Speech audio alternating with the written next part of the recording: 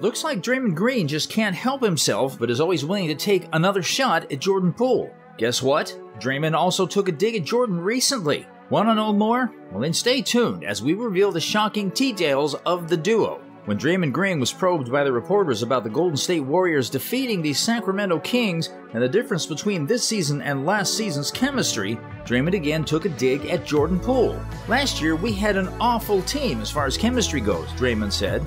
It was hard to come to work, no fun.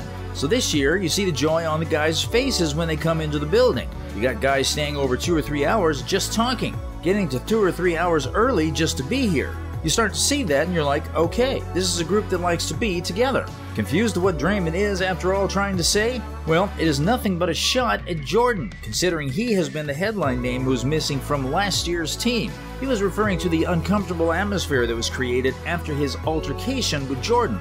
Draymond seems to be totally highlighting the fact that last season's chemistry was not seen in Golden State because it was he himself who punched Jordan who was his then teammate, yeah, and that too squarely in the face during practice sessions. The incident brought us back to the reality that we are indeed living in an unjust world as Draymond was provided with a $100 million contract to stay in the Golden State, and sadly, Jordan was transferred to the perennially depressing Washington Wizards. When Klay Thompson was asked about his opinion on the last season's chemistry, he said, I think every year is great. You're in the NBA and you get to put shots up and play defense for a living. I don't even pay too much mind to that. I think obviously chemistry is great this year, but every time I put a Warriors uniform on, I'm gloating. It's just a dream come true. No matter how many years you play in the NBA is a place where dreams are met. I think this year is great chemistry wise. Last year was good as well.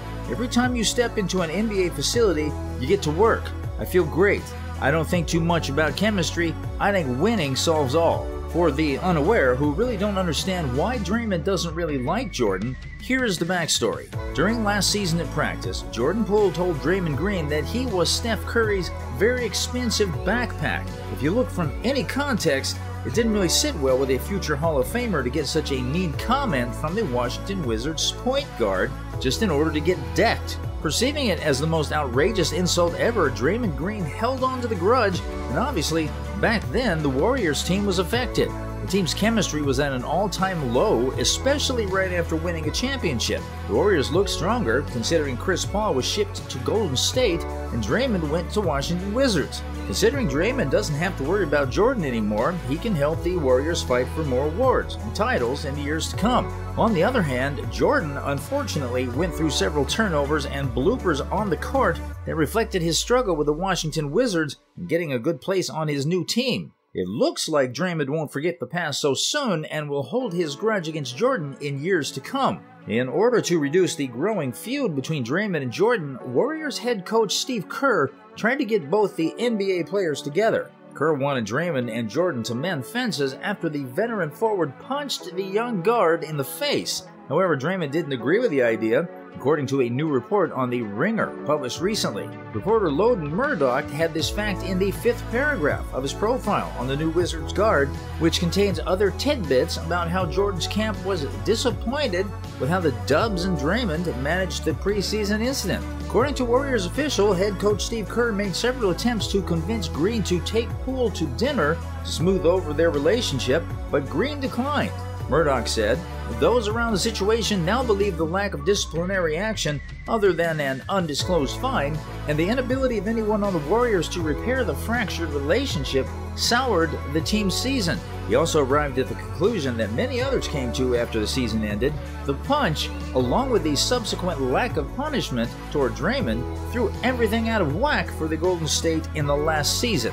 It is now a known fact that the fallout between the players led to Jordan getting sent east in exchange for Chris Paul. However, the Dubs decided to stick with Draymond rather than keeping a 24 year old player. Jordan's whose playoff challenges are quite evident considering the last season's failed championship campaign. However, till Murdock's recent revelation, it was found that the Dubs only levied a relatively meager fine and hoped that it would send out a message. But it was still unclear why Draymond didn't want to participate in the peace dinner. In fact, Draymond said in his own podcast, making a shocking claim that Jordan said stuff that you don't say amongst men without giving any proper specifications. Once Draymond did not want to make any attempts to fix his relationship with Jordan, it made the young player feel more lonely and depressed.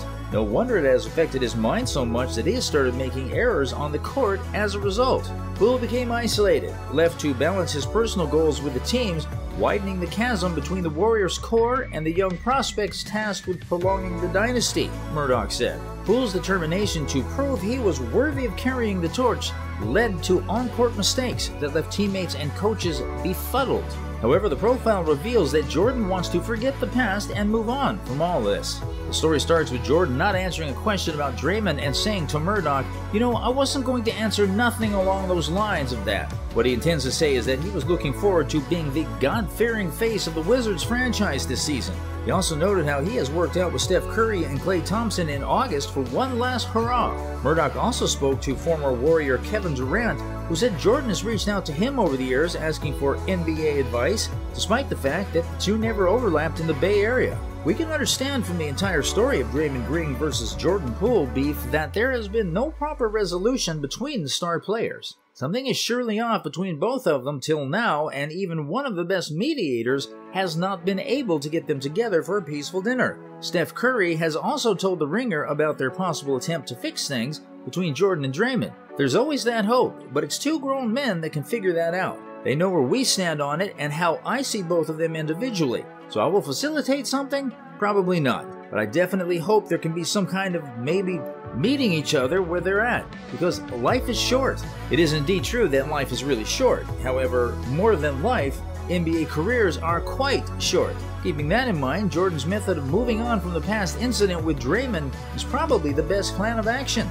No doubt that the entire Jordan Poole and Draymond Green relationship timeline is quite an unfortunate one. Also, there is no denying the fact that the Warriors have gone from a championship team with Jordan Poole to a quickly dysfunctional one that couldn't have a winning streak on the road. However, this can serve as a learning lesson for Draymond and Jordan in the near future to let bygones be bygones and never hold grudges in order to have a successful career. Let's take a glance at Draymond Jamal Green's details. Born on 4th March 1990, Draymond is an American professional basketball player for the Golden State Warriors of the NBA. He has been a four time NBA champion, a four time NBA All Star, a two time member of the All NBA team, and a two time Olympic gold medalist. Draymond is considered to be one of the amazing defensive players in the league, making him win several awards. On the other hand, Jordan Anthony Poole was born on 19 June 1999 he is an American professional basketball player for the Washington Wizards of the NBA. He started his career by participating in college basketball and then became a member of the Michigan Wolverines for the 2017 18 team that won the 2018 Big Ten tournament and also made him attain the season's national championship game. He has attained the nickname of Pool Party. Do you think Draymond and Jordan should simply avoid talking about each other in the press? Share your views in the comment section below. If you enjoyed watching our interesting video on the fiasco between Draymond and Jordan, then click on like and subscribe to our channel.